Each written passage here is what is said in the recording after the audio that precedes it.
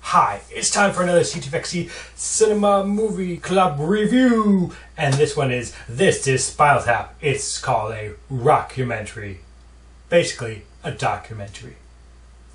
Anyways, you know the drill.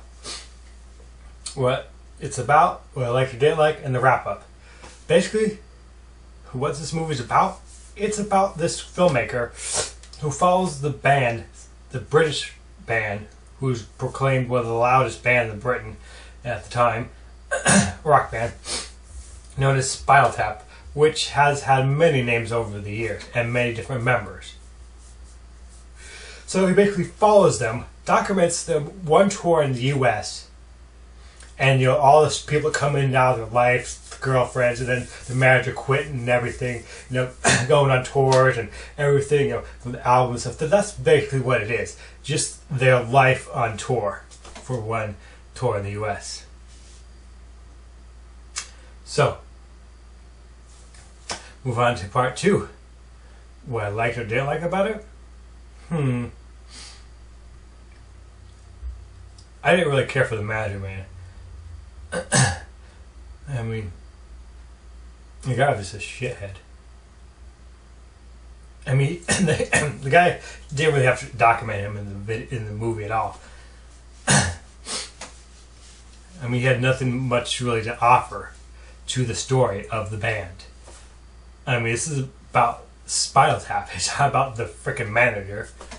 So he could have left that on the cutting room floor for all I care.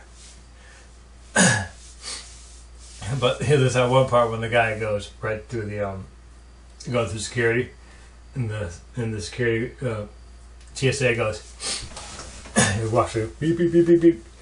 Yeah, take up and take off jacket. Oh, zipper. Beep beep beep. And she goes, "Come on, zipper. So you got something, a uh, medical extremities? Uh, you know, you know, there's nothing I know." And Elson, you might unzips, pulls out this zucchini or something, wrapped in tinfoil, puts it down. That was hilariously funny.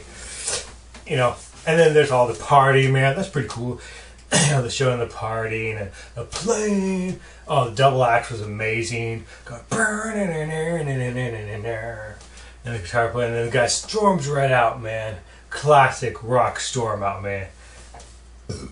And then they got these little uh, little people, like we call them nowadays, dancing around this 18 inch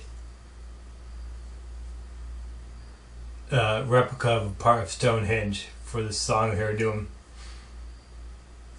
So yeah, who else like?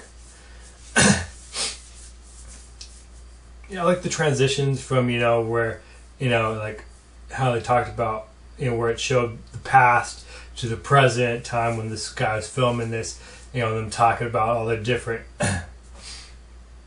you know drummers. Now is some of the stuff true? Probably not. They just probably got fed up, some of these drummers.